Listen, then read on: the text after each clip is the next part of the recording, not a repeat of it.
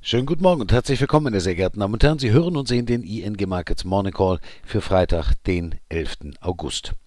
Mein Name ist Ronald Gerd, ich bin Analyst bei börsedaily.de und das ist der DAX Future auf 60-Minuten-Basis. Jetzt könnte tatsächlich passieren, womit kaum jemand gerechnet hat, nach dem alten Motto, das gerade an der Börse ja so oft zum Tragen kommt, unverhofft kommt oft, nämlich, dass auch der mittelfristige Aufwärtstrend des DAX bricht. Wir sehen hier, dass der DAX seit Ende Juli in einer Handelsspanne von, naja, mal so ungefähr 250 Punkten unterwegs war volatil immer wieder auf und ab lief, aber die untere Begrenzung im Bereich, jetzt auf den DAX Future gesehen, bei 12.080, im DAX selber bei 12.100 Punkten, die wurde mehrfach verteidigt. Ende August, äh, pardon, Ende Juli, genauso wie Anfang August und gerade erst am Mittwoch. Gestern aber brach diese Zone. Die Wall Street, die hat sich nun doch entschieden, nervös zu werden. Und dort kam es erstmalig seit ja, längere Zeit zu Kursverlusten im dreistelligen Bereich, was den Dow Jones anging. Die Nasdaq verlor gute 2% und äh, das blieb nicht ohne Folgen für den DAX. Der rutschte schon kurz nach der Handelseröffnung in die Tiefe, aber wir sehen hier nämlich äh, die letzten Handelsstunden, nachdem der Xetra DAX um 17.30 Uhr seine Tore schloss, dass es noch weiter abwärts ging.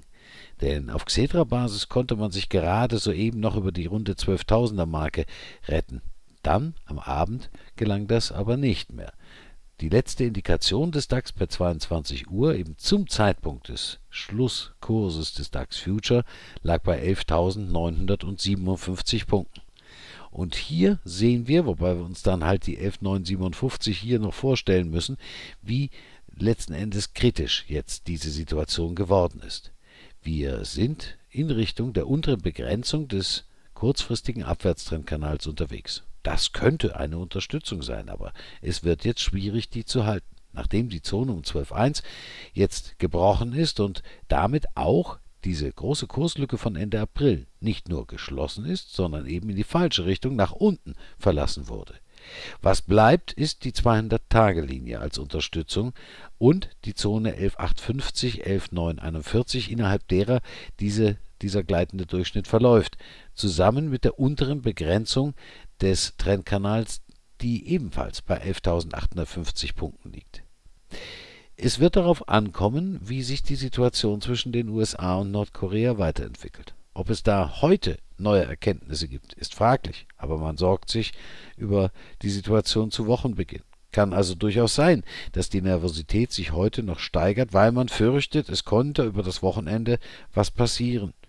Die verbale Eskalation, die konnte sich tatsächlich gestern noch steigern. Hätte man gar nicht denken mögen.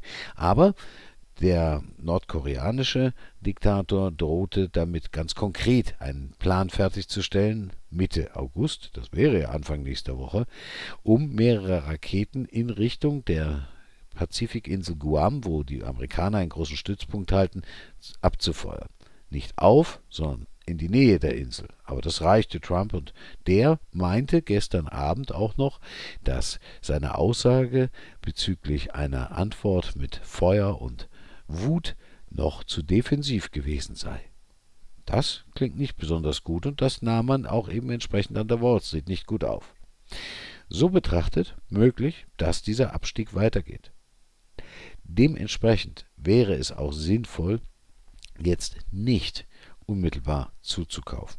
Denn wir sind unter den möglichen Ankerpunkt, nämlich einen Schlusskurs unterhalb der Kurslücke bei 12.049 Punkten, jetzt auf Basis der letzten Indikation ganze 100 Punkte abgerutscht.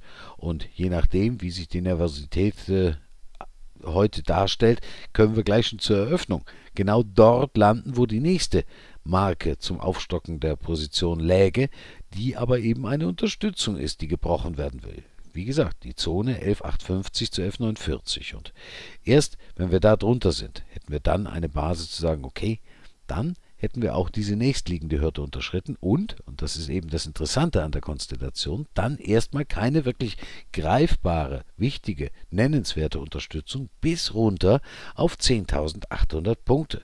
Das werden wir uns am Montagmorgen, wenn wir wie gewohnt dann auch den DAX auf Wochenbasis im Bild haben, mal genauer ansehen. Auf jeden Fall sind natürlich Short-Positionen haltenswert und wir würden den Stop-Loss jetzt sehr deutlich nachziehen. Denn jetzt sollte der DAX natürlich nicht mehr nennenswert über diese vorher verteidigte Zone um 12.100 Punkte hinauslaufen. Und sollte das doch geschehen, sollte es zu einer Beruhigung kommen, wo immer sie auch herkäme, und der DAX über dem Tageshoch des gestrigen Donnerstags bei 12.159 gelegen schließen, beziehungsweise überhaupt darüber laufen, dann wäre es schon sinnvoll, erst einmal auf der Shortseite die Gewinne mitzunehmen. Deswegen ziehen wir den Stop-Loss jetzt per heute früh unmittelbar von 12.400 auf 12.180 Punkte nach. Short ist weiterhin die richtige Richtung ob es zu einer Eskalation nicht nur auf politischer, sondern auch auf börslicher Ebene kommt. Wir werden es sehen. Aber das ist wieder mal einer dieser Tage, der im Voraus nicht berechenbar ist. Die Kavallerie, die sonst immer wichtige Unterstützung an der Wall Street zu retten pflegt, die kam gestern nicht. Aber sie könnte natürlich vor dem Wochenende kommen. Es kann auch ganz anders kommen, aber wenn man schon short ist, ist man auf der richtigen Seite dabei in einer solchen Situation die Position dann unmittelbar vorher auszubauen, in der Erwartung, dass bei einer völlig unklaren Situation die bärische Variante siegt, ist sehr, sehr gewagt und dementsprechend aus unserer Sicht im Moment nicht unbedingt sinnvoll. Soweit der Überblick. Wir melden uns wieder Montagmorgen, dann werden wir wissen, wie es in das Wochenende ging. Dann werden wir den Freitag ja mit auf dem Schirm haben und dran denken, um 13 Uhr am Montag kommt dann wie immer der ING Markets Chart Flash mit einem Blick auf die anderen wichtigen Märkte an der Börse. Bis dahin, schönen Freitag und machen Sie es gut.